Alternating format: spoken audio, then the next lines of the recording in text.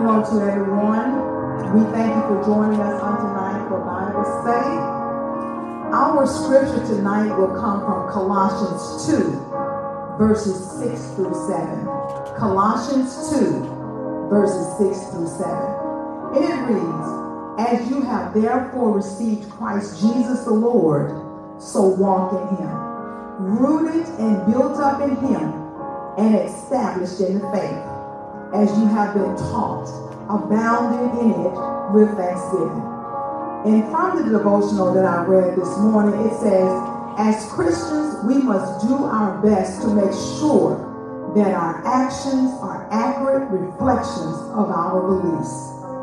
Our theology must be demonstrated not only by our words, but more importantly, by our actions. In short, not only by our words, but in our actions. In short, we should be practical believers, quick to act whenever we see an opportunity to serve God. And it goes on to say, we may, we may proclaim our beliefs to our heart's content, but our proclamations will mean absolutely nothing to others or to ourselves unless we accompany our words with deeds that match. The sermons that we live are far more compelling than the ones we preach. So remember this, whether you like it or not, your life is an accurate reflection of your creed. If this fact gives you cause of concern, don't bother talking about the changes that you intend to make. Just make them. And then when your good deeds speak of themselves as they most certainly will, don't interrupt. Although God causes all things to work together for good for his children, he still holds us accountable for our behavior. Either God's word will keep you from sin, or sin will keep you from God's word. So how can you guard your steps? By walking with Jesus every day of your life. And that is coming from Colossians 2, verses 6 through 7.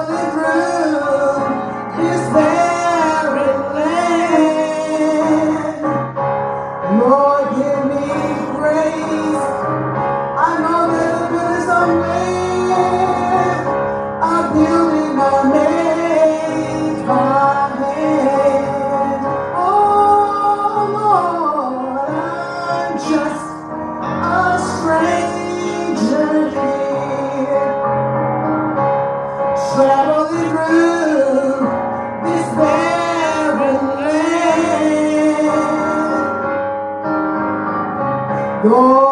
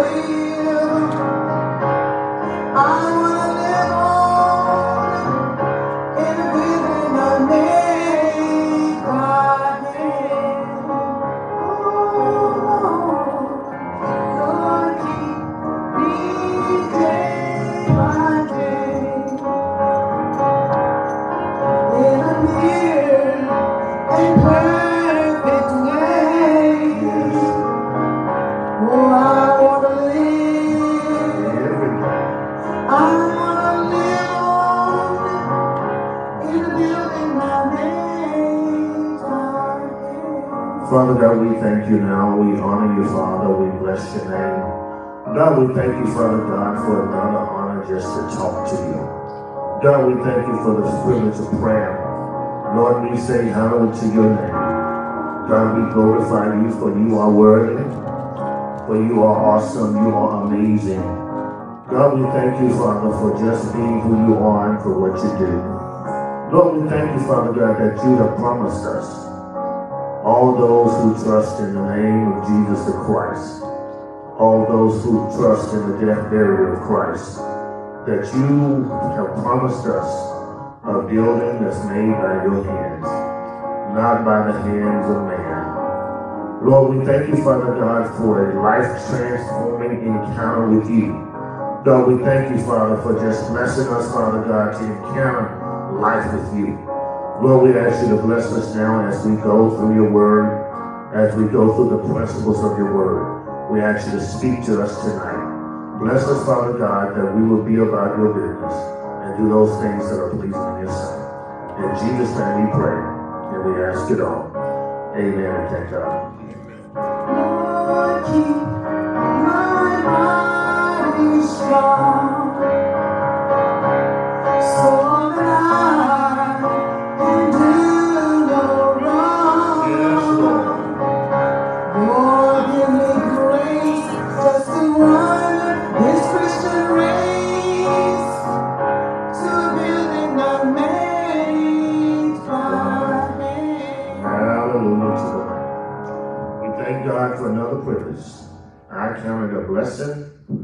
you count a blessing to be on this side of the ground and the ground not on top of you? Amen. It is a blessing from the Almighty God. It's not because we've been so good, so kind, so particular. It's because God has blessed us.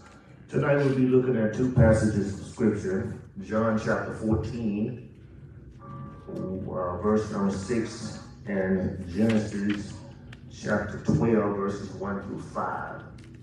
John 14, 1, John 14, verse number 6, and Genesis 12, 1 through 5. God has tremendously blessed us one more again. We'll be covering uh, pages 10 through 14, 10 through 13 tonight, and we will close out uh, day one of unit one. Amen? Day one of, of unit one. The author goes back and he reviews some of the principles that he has blessed us with already. At the top, of page 10, he reiterates the goal of this study. The goal of the study is reiterated before us, and the goal of this study is to have a life transforming encounter with God. A life changing, a life transforming encounter with God. We've already said several times, and Paul, the Apostle Paul writes that once a man comes in contact with God, he can never, he shall never be the same. When a man, woman, boy, girl comes in contact with God, their whole mannerism changes. Uh, their whole lifestyle changes. Their whole look at life, their whole worldview changes. When a person comes in contact with God, they have a life transforming encounter with God. Their lives are transformed. Their lives are made the better, not the worse.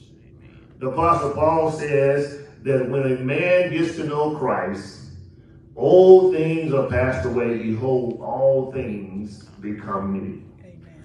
And we, we certainly have to understand that some of these things won't become new overnight, right? You won't stop doing all the things that you've been doing for a lifetime overnight, but your life will change. Matter of fact, the way you view life changes. That's right. You're right. Your worldview changes. How you think about God changes. How you think about yourself changes. Because the fact of the matter is, once you get in contact with God, let me just share with you, self-esteem is built up. Right. Self-character is different. the way you view other people are different. It's simply because God has transforming power on our lives. The top of page 10, it says that the goal is to have a transformed encounter with God. It's not just to finish a Bible study class. It's not just to finish a book. It is to have life transformed.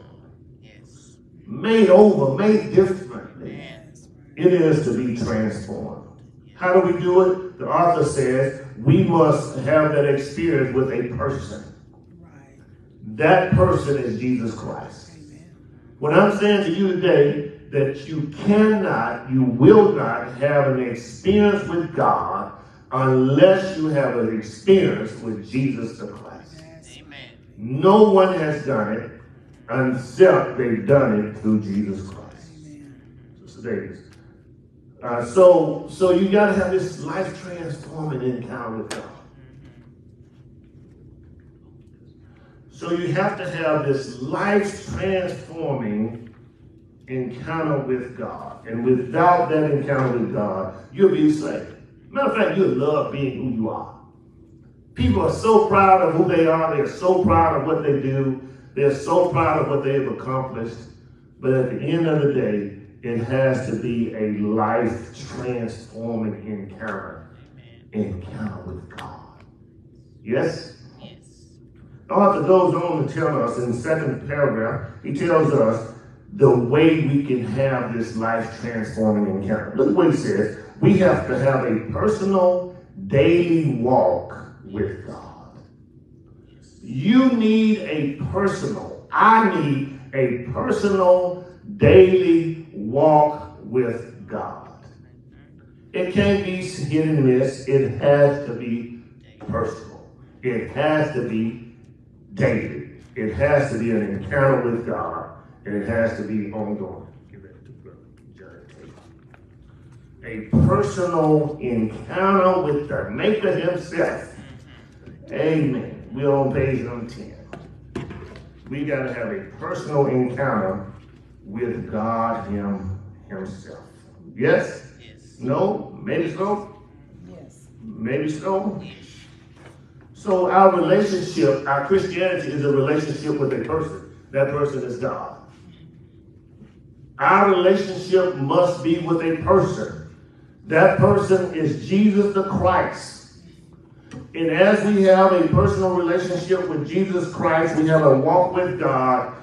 Let me tell you, it deepens our relationship with Him. So David, will you come and read the story of the farmer for us, please? Thank you so much for volunteering. God is such an awesome God, isn't he? He's just such a good God. Yes, yes he is. Yes he is. Okay, so this is at the bottom of page number 10. Jesus is your man. And it says, for 12 years I pastored a church in a city surrounded by farming communities.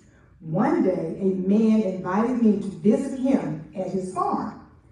His directions went something like this. Go a quarter mile past the edge of the city, and you will see a big red barn on your left. Go to the next road and turn left. Take that road for three-fourths of a mile. You will see a large poplar tree. Go right for about four miles, and then you will see a big rock. Hmm. I wrote all of this down and only by the grace of God did I eventually manage to find the farm. The next time I went to the man's house, he was with me in the vehicle because there was no more than one way, because there were more than one way to get to his house, he could have taken me any way he wanted to. You see, he was my map. What did I have to do? I simply had to listen to him and do what he said. Every time he said turn, I did what he said. He took me a way I had never been and could not have discovered on my own. I could never retrace that route by myself. The farmer was my mount. He knew the way. Mm, thank you. Thank you. So the, the farmer gives two different scenarios, right? At two different times, two different periods. He talks about being a pastor and finding his way around the neighborhood. What is different about the two different moments? What what are they different? How are they different? The one, the one, the first time he was by himself. Okay, the driver. The driver was by himself. Okay. And he was he was trying to find. He was trying to get to the location uh, just by reading some directions. Okay. But then the second go around, he had the individual inside the car with him who knew the directions, Right. but he then took him a different route. Mm-hmm. Um, and so if he had not had the, the, the, the individual in the vehicle with him, he would have never found that other route to get to the destination. Okay. So he was told about the way to get there the first time. Right. And as he was told, he was writing it down. Had he missed one simple turn, he would have ended out in Dilly Wadilly. Yes? That's Right. He would have ended up somewhere else. somewhere else. But because because he followed the directions as they were given, he followed the directions to a T, guess what happened? He got to the place. And when he got to the place, he arrived on time, he arrived at the place he was headed to. This second scenario is the person who was giving him direction was riding in the car with him. He didn't have to pay attention to the paper, did he? No, Why didn't he have to pay attention to the paper? because the person said turn right. Gave step by step direction. So he says, he said, he didn't say, uh, 200 yards, you will take a right onto So-So Street. And he didn't say, go see the oak tree down the road, and when you get to that oak tree, take a left. But he said, turn here, turn there, turn there, and it was a different direction. Now the author calls this old farmer the way himself, the map himself, the GPS himself. How does this apply to us? And how does this apply to Christ? Or does it? It does. How does it apply to us? How does it apply to Christ? How does it apply to our relationship with God? Because Jesus, we could say the farmer is Jesus and Jesus knows the way. So the only thing we have to do is just follow Jesus and turn where Jesus say turn and, you know, we'll Okay. reach our destination. So we, we just have to obey Jesus, follow the directions of Jesus. Who has John chapter 14, verse 6? John chapter 14, verse 6. John 14 and 6. Jesus said to him, I am the way, the truth, and the life. No one comes to the Father except through me. Okay, thank you. So Jesus didn't say that I'm going to show you the way. He says, I am the way. Jesus says, not only am I a person, I am the way. So when we talk about the way, we must talk about Jesus. He didn't say I was going to sign somebody to show you the way. He says, follow me because I'm the way. When we look at John chapter 4, Jesus is, is getting his disciples together. And as, as, as you go toward the end of that chapter, he's calling his disciples, and every last one of them he says, Follow me. Follow me. Why can Jesus say, Follow me? Because he's the way. Yes. And if you follow Jesus, you will get to the right place, and you will get there at the right time, and you will get there the moment you need to be there. This, and you won't get lost. The senior saints used to say it like this He may not come when you want him, but he's always on time. So Jesus gets us where we need to be, he gets us there on time. Do you think Jesus is ever late? Nope. No. We look at John chapter 11, they thought Jesus was late. We look at John chapter 11, and you don't have to turn to it now, but when you look at John chapter 11, Jesus' friend, one of his best friends, is sick unto death. Lazarus then dies. Jesus, tearing where he was, when by the time he gets there, Lazarus already dead. And when we look at it, we say Jesus got there too late. Jesus got there late, but Jesus is never late. Why do you think I tell you when when you when you get to church, if your cheek's not in the seat, that's a new term I learned. Did y'all learn that term? If your cheek's not in the seat, you're late. If you park pulling up on the parking lot, you're late.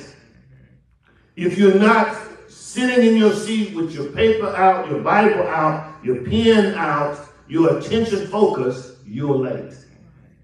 And some people appear in the room, but they're still late in their minds and their hearts because they got other stuff going on with them. When you look at this story, the farmer followed Jesus, or the farmer, the driver, the pastor followed the farmer's direction, and therefore we ought to follow Jesus' direction. And guess what? Jesus wants us to follow the directions to the T, to the I, to the dot. That's right. How do I know that? There was a man that told, was told not to touch the ark. Mm-hmm. He was said, he was told the ark is going to be transported, but as it's transported, don't touch the ark. Mm-hmm. And he had a good heart, didn't he? Mm-hmm. He had a good purpose, didn't he? Uzziah, I think his name is, he hmm. touched the ark as the ark was falling. He touched the ark. And this man was a good heart. This man that was protecting the very presence because the ark of God was the presence of God. This man who had good intentions died because he didn't follow God's instructions to the T. Because he did, he he said, I'm gonna do it this way because I, I see conditions have changed. Maybe God has not made exceptions for this condition. Maybe God has not thought about this one. So, because God had thought about this ark turning over, I'm going to prop it up. And he took his last. We got to follow Jesus. We have to follow God's instructions, just like he gives it. Can you tell? Yes, ma'am. I'll let you go ahead. Hmm? You can go ahead. Go ahead. I was just going to ask a question. Probably a question you're going to answer. No, it's- not a question, just something to think about that I think is hard for a lot of us. When it talks, after it talks about the farmer story, the question four, when it talks about, a lot of times we want to follow God, but we want the details.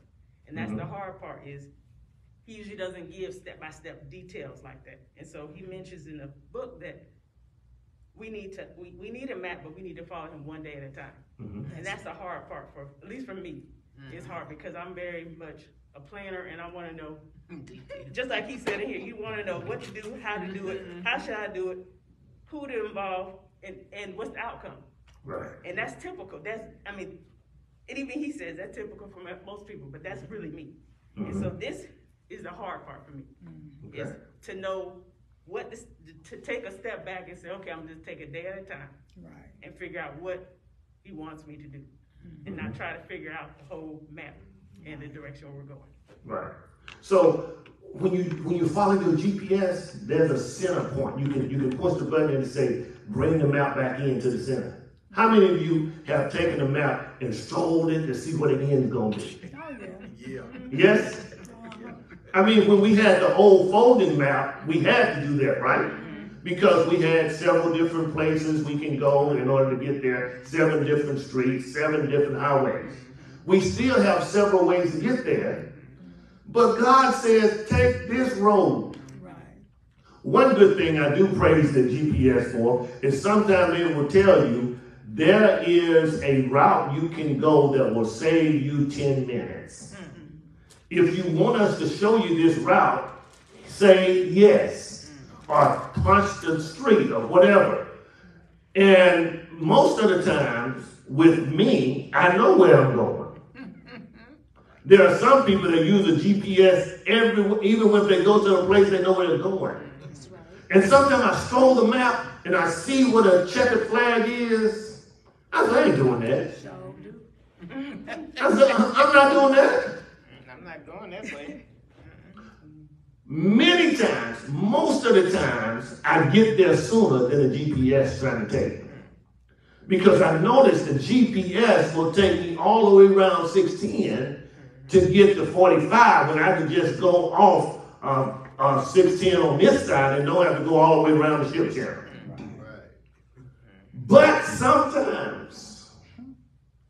the reason why the GPS says go around the ship channel, up and over the ship channel, is because had I just looked just a little bit longer and a little bit further, I would have saw this, this blood red line saying there's a traffic jam and people just sitting still in the parking lot. Yeah. And because God doesn't tell me all the details, and because the GPS doesn't show everything, I miss it. And we are people, and, and I don't think this is the only person, I know not the only person in this room. We are people that we want to know when, where, how, how come, how many, how we going to get there, who we going to see on the way. Do we speak to this person as we go? Anybody in this room? And if God doesn't show us the details, then we are all flustered. Then we start talking to God about God, are you still up there? God, do you see what I'm going through? My emotions are upside down, twisted. I got nerves in my stomach, and, my intestines feel like they're about to ring out. And not to mention that, God, I've been going through this a long time. It's like having children, and you know if you go down this road, you're going to hurt yourself. And sometimes with your children, you have to bag back. Say, God, is in your hands. And we are God's children. We will never be grown children. We are God's children. And God sometimes has to bag back to let us do it our way. And you know, it seems cruel that God doesn't give us all the details. Even though we have the Bible, let me tell you, one of the hardest things you can do is have faith in trouble. Yes? No? Maybe so? I mean, when you see things with your eyes and you know, God, I can fix this. But God says, wait. When you look at Mark chapter 5, Mark chapter 4, at the end, at the end of that chapter, Jesus is in, in on the boat and there come winds and waves and trouble and storms. Jesus sleep. the men on the boat in trouble. They have sense enough to wake him up and ask him, do you not care? Do you care if we perish? Jesus wakes up dead out of a sleep, stands on the top of the boat and said, peace be still. And the winds stopped howling. And the waves laid down like a baby. Let me tell you, that's the situation we all want to be in. We all want to be in a situation that when trouble hit, we can tell Jesus, Jesus, get up, don't you care? Jesus stands up and he says, Peace be still, and all of our troubles are gone. That's the situation we always want to be in. Whenever we're in trouble, we want Jesus to shut it down. But I say to you, sometimes Jesus calms the storm.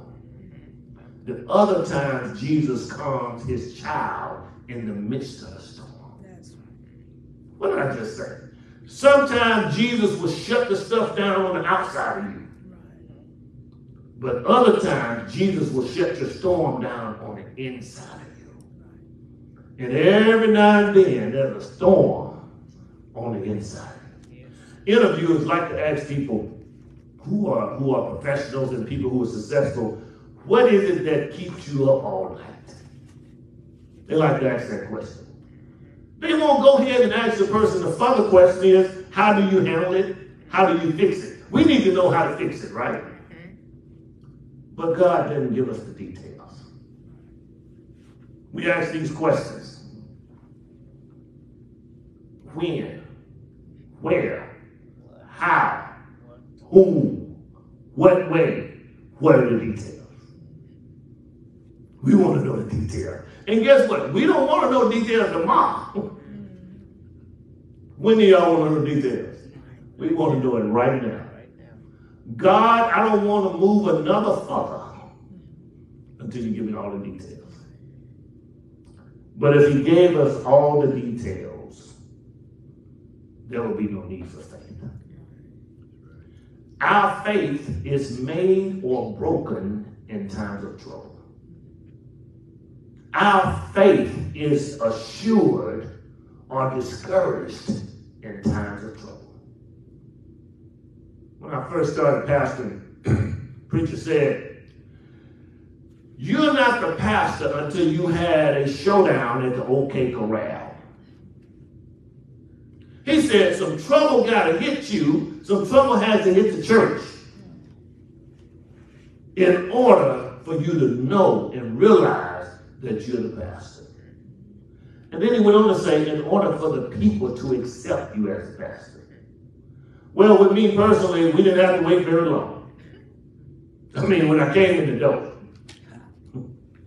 when I came in the door, when I showed up. Matter of fact, before I was voted in. And then when we get in trouble and we know God has placed us there and know God has put us in this situation, and then a storm shows up, then we want to say, maybe I heard God the wrong way or I didn't hear him at all. And a lot of people quit. A lot of people stop because God didn't give them the details.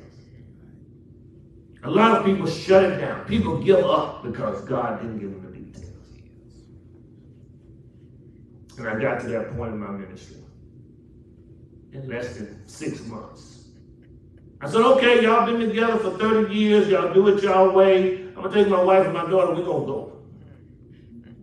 But God said no. I mean, literally. 20 years later, 19 and a half years later, I was about to walk out the door. But what God did, didn't give me no details. But here I stand, 19 and a half, almost 20 years later.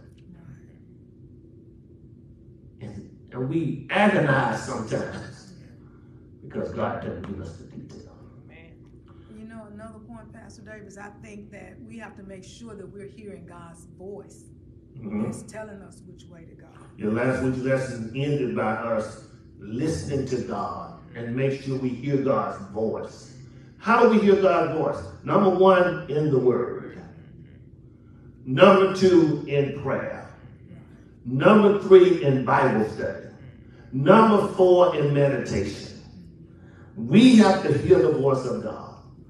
And if the voice of God we think we hear doesn't line up with what's in here, it's not God's voice. God never, ever, ever, ever contradicts what he says. And sometimes God speaks in the word and he's not talking to us. Keep the Sabbath and make it holy. We even got confusion of which day is the Sabbath. Then Jesus comes and he says, Now remember this. The Sabbath was made for the man and not the man for the Sabbath. In other words, don't let the Sabbath control you. You control the Sabbath. We got animal lovers all around us, and they say you ought not kill snakes, and you know I ain't. Whew, Jesus. They say you ought not kill wild animals. But the Bible says to Adam, he says, you subdue the earth. You make the decision. You handle all these animals. He says everything that creepeth upon the earth, everything that foul, that flies in the air, every last one of them, everything that swims in the sea, everything that walks and runs on the earth. Adam, you have control of. I, I, I go to that verse, I think of it in my mind all the time. I got control, and if they get in my space, or I wander in their space, I need to maintain control. I have to maintain control. So God, God doesn't give us everything, but what He wants us to do, we must establish a personal daily walk with Him through prayer, meditation, and Bible study. My relationship with God is most important, it is the most important part of knowing God's will and doing God's will. My relationship, this is my intimate relationship with God. It is most important when I learn who God is. That's why the Hebrew writer says, He that comes to God must believe, first of all, He is. And then after you believe He is, He says, you must believe that He is a rewarder of them that diligently seek Him. I believe that we ought to lay it on God, but I also believe we got to keep knocking. Jesus tells this story about the woman that kept knocking, kept knocking, kept knocking. And after a while, the judge, the, the bitter judge, the unjust judge, said, man, let me give this, this, this woman what she wants. Because she's going to wear me down. And he parallels this to our prayer life. And when we pray, we want, God bless me right now. Deliver right now. And God is saying, follow me. Jesus said, follow me. Meditate on my words. Spend time. That's why I told y'all last week, be prepared when you come to Bible study so we can we can share and, and iron sharpens iron with each other. Yes? Iron has to sharpen iron with each other. We got to sharpen each other. So we have to interact with God. This intimacy, this intimacy, this intimate relationship we have with God, if we don't have it, guess what? We're going to miss it. We're going to miss what God would have us to do. We're going to miss what God is doing in our lives. We're going to miss it, y'all. And you don't want to miss God. You can miss breakfast, but don't miss God. Believe me, you can miss it. You can miss breakfast, you can miss supper, but do not miss God. Page number 10 and 11. We got the story of the farmer. Let me tell you what Jesus didn't say. Jesus did not say, I will show you the way. Jesus did not say that I'll give you a map. Jesus did not say, I tell you, I will tell you which direction to go. Jesus said, I am the way. Jesus says, I know the way. And Jesus said, I am the only way. Jesus said, I'm the way. And then the author comes to the conclusion that he is my way. He is my way. You see that? If, if, if Jesus is going to be real in your life, he's going to have to be your way. Anybody struggle with that? Jesus is the way. We know that we want the details. I think everybody in the room, everybody that's listening, know the details. But if you look for the details more than you look for God, if you look for the details more than you look to Jesus, you're gonna miss God. It is clear you're gonna you're gonna miss God. Don't miss God. Don't, don't miss God. If you miss God, it's more devastating than you missing a good paying job. If you miss God, it's more devastating, more detrimental than you missing good job benefits. If you miss God, it is more tragic than you miss your doctor's appointment. Don't miss God. Our prayer requests. The question is, how do you pray? The author talks about these, these choices, two different choices of prayer. In the first choice, he, he identifies the fact that we pray, Lord, do you want me to do? What do you want me to do? Lord, what do you want me to do? Lord, when do you want me to do it? It's right there in your book, right? Lord, How should I go about doing it? Lord, who shall I involve along the way? Lord, what will outcome be? Isn't that something? I want to know the details. But the author, Henry Blackaby, says it this way in the Experiencing God book. Our prayer ought to be this Lord, as you go with me, tell me what to do one step at a time. Lord, as you and I walk this, this intimacy together, this intimate walk together, Lord, tell me what to do one step at a time. He says our prayer life ought to say, if you do anything, Jesus, tell me or tell us one day at a time. We will always be in the center of God if we walk with Jesus and, and allow him to tell us one day at a time. We will be in the center of God's will. And when we're in the center of God's will, and our lives will be made. I just want to be in the center of God's will. I mean, there was a time in my life I just wanted my way any way I wanted, and I wanted when I wanted, and I want God to do it now, God. Songwriter says, if the wind keeps on blowing, and if the storm does not cease, one thing I'm convinced of, my soul is anchored in the Lord. What he's saying is the wind can blow on top, the storm can be raging, but my soul is anchored. And the idea is there's a ship that's on the raging sea, but because my soul is anchored in the Lord, I am sturdy. Amen. I'm solid. Let the wind blow. My soul is anchored in the Lord. I'm not bothered. By it It doesn't move. I'm not, I'm not shaken by it. My soul is anchored in the Lord.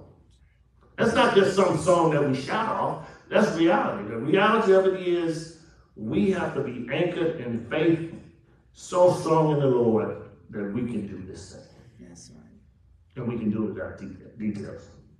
As I follow Jesus one day at a time, I mean, he's driving this point home as I follow Jesus one day at a time, Jesus will keep me in the center of God's will. Pages 20, 12 and 13. Pages 12 and 13. I begin by asking some questions. Are you really ready to follow God's will? Are you depending on God, showing you every detail as you travel in life? And this is my resolution. And this is what the author suggests. The resolution and the resolve is I am willing to follow God the Father. I am willing to follow God the Son. I am willing to follow God the Holy Spirit by faith and not by sight. I mean, it seems crazy, doesn't it? Somebody you can't see.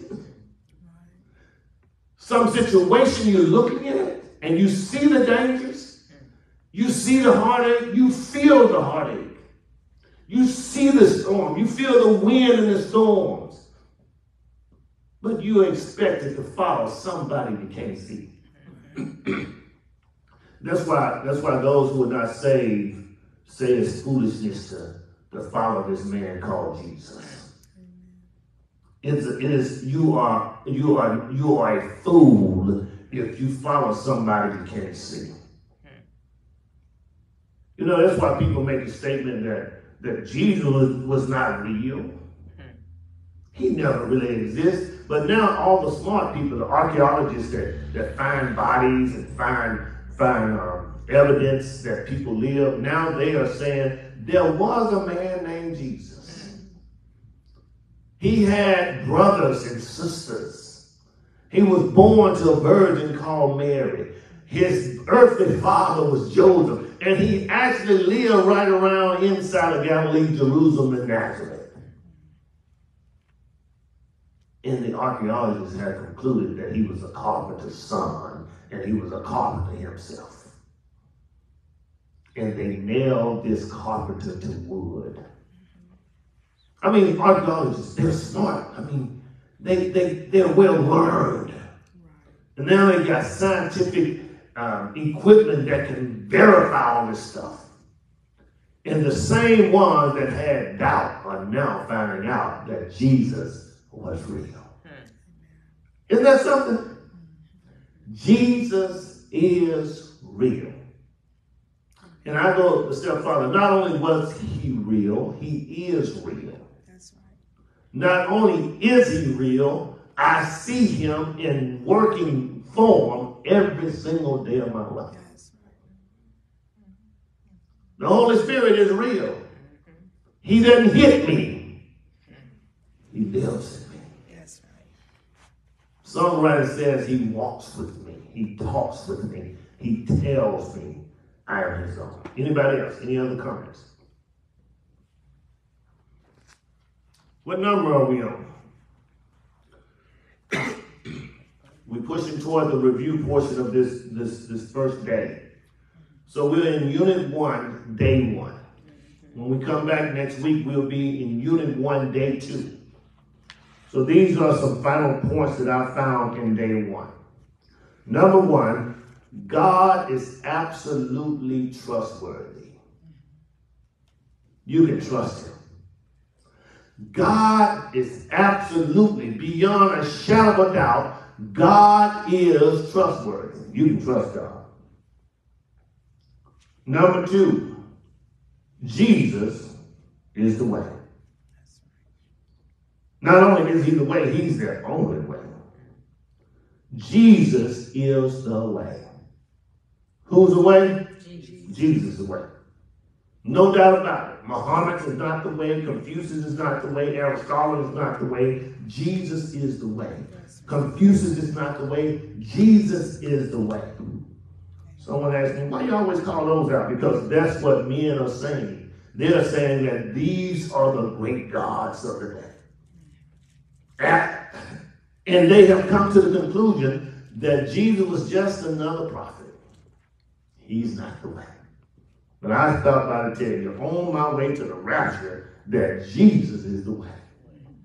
Number three, I do not need any other map other than Jesus the Christ.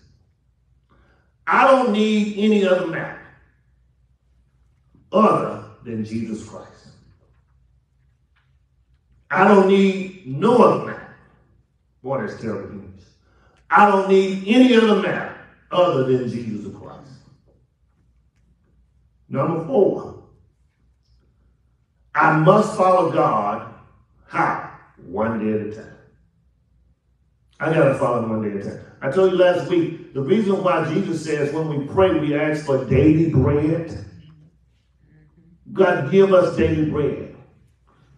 God gave instructions to the children of Israel. I'm going to give you manna for the day. Don't store it up. Don't eat too much. Don't be greedy. I'm going to give you daily manna. And they act just like new beginning members. They stored it up. They ate too much. They carried some home. And it began to rot in their mouths. God wants to make impressions upon our lives daily. That's why Leviticus says that every morning God gives us new mercies. Just because he woke you up this morning, you can't count this morning's mercy as tomorrow's mercy because he's not guaranteed to wake you up in the morning. How many of y'all looking forward to retirement? Anybody? Y'all not faithful to that job? It's a beautiful thing. Anybody looking forward to retirement? Anybody, anybody at a point where they want to say, look, you can take this job and shut it. I'm not working here anymore. Three years ago, I did. Now don't do that at the wrong time. And whatever you do, act like a Christian when you leave. You know, some people come to the conclusion, I'm, I'm out of here, I'm leaving, and they go around and cuss everybody out there with their head off. One guy thought he had hit the lottery. He thought he had hit the lottery. So he went down there and looked at his numbers. He found his numbers in the middle of the day. And before noon, he had cussed everybody out that he had a problem. And when he got down there to the lottery office or whatever you call it, they said, you missed a couple numbers. That's a five, what you thought was a six. That's a four, you thought it was a seven. Matter of fact, you have $200 instead of $2 million. Now he goes back to work. Well, you know, I didn't, I didn't mean anything I said. Mm-hmm. God is not a gamble. We can trust him as we walk with him every day. Number five, I have to follow God even when he doesn't give me the details. Number six, Jesus has been the way. He didn't just start being the way. Jesus has always been the way. Jesus has been the way. Number seven, this is a small tweak. Number seven, Jesus is my way. A lot of athletes are coming out now, and they, you can tell that they're not giving the Oscar award type speech. Giving honor to Jesus, my Lord and Savior, Jesus Christ. And then they start right there cussing. Hmm. There are some athletes that are standing on the Word of God, and before they even start the interview and answer the question, you can tell deep down in their heart they have Jesus. Hmm. It's real to them. Hmm. It's, it's, it's available to them. And Jesus has made himself available to them for a long time. Go back and look at C.J. Stroud's uh, testimony. he got a reason for Jesus. He got a reason to stay with Jesus. He better leave Rose alone, but he got a reason to stay with Jesus. Why y'all looking at me like that? He better leave Amber Rose alone. No, not, no, even, not even friendship. He better stay with Jesus. Jesus, he declares that Jesus is my way. Number eight, Jesus will always be my way. Jesus will always be my way. It doesn't matter who gets in the car with me. It doesn't matter who rides with me. It doesn't matter what the media says. I'm going to depend on Jesus. There used to be a, a, a, license plate out when before they started making you put a license plate on the front of your car. There was a license plate out that says, Jesus is my co-pilot. Mm. Even at a young age, I knew that was flawed. Mm. Jesus is not my co-pilot. I can't stand and sit next to Jesus. John says, I can't even fit to tie up his shoes. Mm. He's not my co-pilot. He is the pilot. Every time I get out of a plane, I uh, get on a plane, I'm looking for the pilot. How you doing? Good morning. When I get out, thank you, sir. Because if the pilot doesn't make it, I can't make it. A woman was complaining because she paid good money for a first class seat. And she noticed that the airplane attendant kept going to the cockpit, taking nuts up there, taking Twinkies up there, taking food up there. And this was before they even took off. She taking food and everything these two guys wanted. She was packing it in the cockpit. This woman got upset. She said, look, I paid good money for this seat and you paying more attention to the pilot than you are to me. She said, baby, if the pilot didn't make it, none of us make it. We want him comfortable. We, want, we don't want his mind wandering. We don't want him to miss any gears, any thrust, any downward motion. We want him to be, whatever he wants, give it to him. Everything but a drink. Everything that he wants, let him have it. So we have to practice on being in the center of God's will.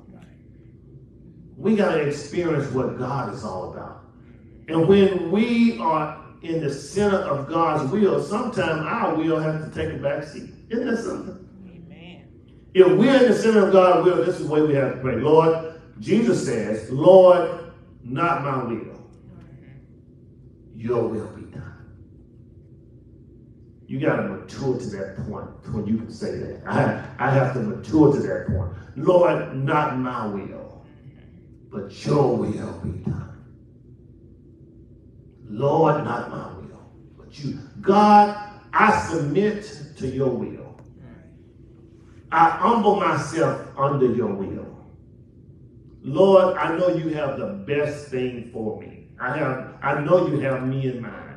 And I know you're going to do what's best for me. Now, Lord, I want this. I want it by this date. How many of you give God a, a time limit? How many of you tell God when you want it? How many of you pray specifically for God to do something?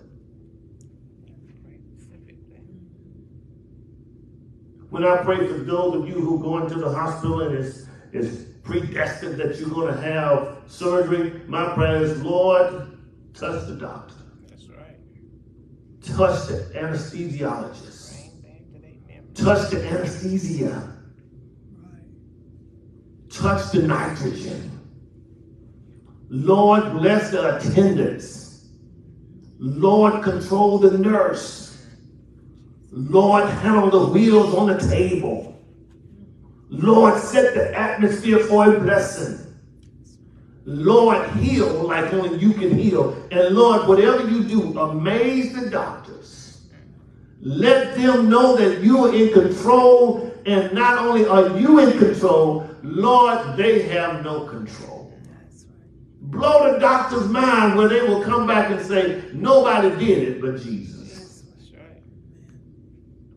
I Oftentimes tell the story how I believe in 1995 God healed my heart where there was no surgery. And the doctor told me there's no need for surgery right now, and there never would be. Mm. I said, Well, doctor, what did you contribute that to? He said, Well, over a period of time, it just healed itself. I said, Doctor, a problem that's been there over 27 years, you telling me now it just healed itself in four months? He said, Well, I'm telling you what I saw on May 17th, I don't see on September the 5th. So I'm canceling the surgery. I said, Well, Doc, what have you contributed to? He said, oh, Over a period of time, just healed itself. I said, Well, I'm glad you used the word heal because only God can heal, man can.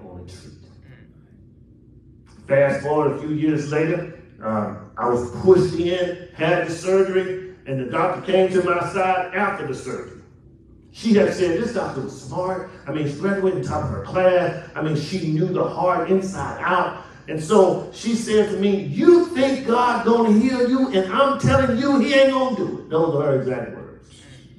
And she said to me that if you, if you do not have this surgery, you, I will no longer be your doctor. And I just remember walking down this long hallway, St. Luke's Hospital, and I said, Lord, bless me to hear it come out of this woman's mouth that God has healed me. A few months later, I had the surgery. She came to my bedside. She said, I have something to tell you. She stood on the bottom of the bed, the foot of the bed, and she said, When we got in there, we didn't see anything. We saw where the problem used to be, but it's not there anymore. So I had to ask the question Well, doctor, what have you contributed to? She said, Well, God healed you. My prayer was, God, bless me to hear come out of her mouth. She said, God healed you. Sometime past insurance changed, so you got to change doctors, right? Maybe 12 years later, I'm walking in the St. Luke's Hospital, going to a, a hospital visit, and I said, hey, hey, Dr. Colbert, how you doing? How you doing? How you doing, Dr. Col- Coulter? How you doing? I said, you remember me? She said, yeah, you're the one that God healed. we have to be specific. And when we pray specifically, we have to expect specifically God to. But at the end of the day, whatever way God chooses to, God knows what's best for us. Amen. And we'll cry out, Won't he do it? Have you tried him? He did it for me. Because every day of our lives are miracles. We, we are walking, talking miracles that don't deserve a miracle. Amen. And I'm telling you, Brother Taylor, God has done it again. He woke us up again this morning. He done every day he gives us new mercies. Every day. So your homework is to finish reading chapter and studying day one, unit one. You gotta finish, and there's a review at the end. If there are some exercises, do the exercises. And so we can uh, move to unit two. So you're gonna finish out unit one, I mean day one, I'm sorry. Unit one, day one, and you're gonna completely study unit one, day two. So you're gonna finish out the review of unit one, day one, and you're gonna read unit one, day two. Yes? And we're gonna participate. We're gonna one one of the assignments is to get in a small group. And guess what? We get a small group. Look what God does. Look at God knows what to do, doesn't he? Amen. God wants us to get in a small group. The author says, get in a small group and discuss these matters. Any other questions or comments? At the end of each chapter, there are three questions. What are those three questions? It's in the pink letters at the end of the chapter. What are those three three uh, things you need to fill out? What was the most meani- meaningful statement or scripture you read? What was the most meaningful statement or scripture you read? The second one? Reword the statement or scripture into a prayer or response to God. reword the statement or the scripture to a prayer or response to God. What is God talking about? He said, God, you said that as Jesus says that I am the way, the truth, and the life. And when you pray, you're going to pray the word of God. So you're going to write it in such a form where you tell God, God, you said that Jesus is the way. Bless me, Father God, to follow Jesus one day at a time. So I gave somebody that answer. What's the next one? What does God want you to do in response to today's study? What does God want you to do in response to today's study? What does God want me to do? We already know He wants us to walk with Him one day at a time. As we walk with Him, He, he changes us, and we want Him to have a give us a life transforming encounter with Him. We want a life transforming encounter with God. And that's what we to pray. We ought to pray, God, give us a life transforming encounter. The name of the book is Experiencing God, right? So we want to experience God to such a way that we've experienced Him never before. This is my third time going through this study. Every time I'm experiencing God in such a way that I have not experienced Him never before. And some of you have witnessed Sister Henry sitting there on the third row looking at her Bible that she's had for the last 20 years, and she'll say, You know, the message you preached last 2014, you use some of those scriptures you because God speaks to us in a different way based on where we are in life. Mm-hmm. Yes? Just like your songs. Some people like one song. And when they hear that song, I mean tears start flowing. Their hands go up and they begin to holler. Mm. And they know what's coming up next in the song. They know what stanza, they know what portion is coming up next, and they shout off the same thing over and over again. So when we read the word and we do studies like this over and over again, God meets us where we are and he speaks to us a different way based on where we are. That's why we don't hinder children from coming to Christ because God speaks to them on their levels. We can't we can't have God speak to them on our level, right? God speaks to them on their level and then they grow in Christ. We just have to tell them the story. Jesus died, Jesus was buried, Jesus rose, Jesus was seen, and this story will change your life. There may be somebody listening to us tonight, and they need to be born again. They need to be saved. They need to know Jesus in the departing of their sin. This is the moment to get to know Him. You cannot experience God without Jesus. Jesus is the way, and He wants to be your way. You bow your head with me and invite Jesus into your life. If you never received Jesus as your Savior, just repeat this simple prayer after me and invite him in. Say, Lord Jesus, I believe that you are the Son of God. I believe that you died for my sins. I believe that you rose from the dead. Now come into my life and make me a new person. Thank you for saving my soul. In Jesus' name I pray. Amen. We believe that you're born again if you honestly trusted Jesus as your Savior. We believe that you're going to heaven when you die. For those of us who are already saved, let's continue to ask God for a intimate relationship, a intimate fellowship, a, a life transforming experience and encounter with Him. And I'm telling you, He will do it every time. Amen. It is oftentimes time to give to the Lord through tithes, offering, and sacrificial gifts. It is time to give to the Lord through tithes, offering, and sacrificial gifts. If you want to give electronically, you can do so by giving to Zelle. Our Zelle account is lifting.jesus at yahoo.com. Lifting.jesus at yahoo.com. Lifting.jesus at yahoo.com. If you want to mail in your gift, you can do so by mailing it to P.O. Box 503, Missouri City, Texas 77459. That is P.O. Box 503, Missouri City, Texas 77459. P.O. Box 503, Missouri City, Texas 77459. Please remember if you want to give to our children, now is a good time to give. Now is a good time to give to our children on their mission endeavor. Now is a good time to give.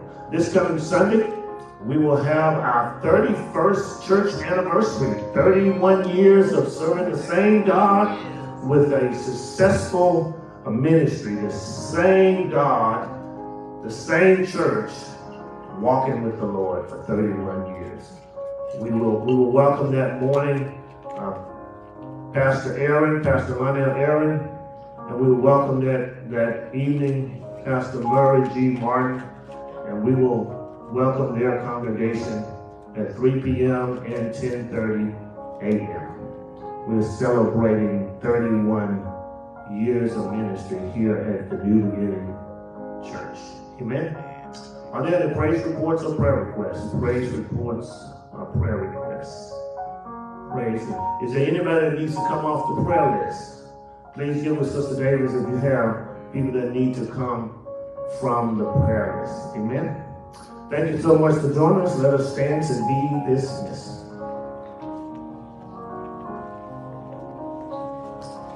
Father God, we thank you now. We honor your name. We thank you for your mercy and grace. Now, Lord, we ask you to bless us as we take serious this encounter with you. Bless our lives and bless us focus to focus. And bless us, Father God, that we will walk with you. Lord, we pray for our sick and our bereaved. We ask you to heal, touch, bless, bless our confused and those that, that need you in a mighty way like never before. Bless those, Father God, that is waiting on your blessing. We know that you're the only one who can bless us. You're the only one who can keep us. We ask you to bless us as only you know how. Now unto him who is able to keep us from falling. Unto him the only wise and only true God. Unto him be power, glory, and dominion. Until we meet again, let us sing together. Amen. Amen. Amen. Please remember, Saturday night, this Saturday night at midnight, we start our prayer and fasting moment. We are praying and fasting, and as well, we are avoiding certain foods and drinks. Amen. No pork, no beef, no fried foods, no soda water, and no sweets. Thank you so much. We're praying and asking God to bless our church, bless our personal lives, and bless the church as a universe. Amen. Thank you, God bless you.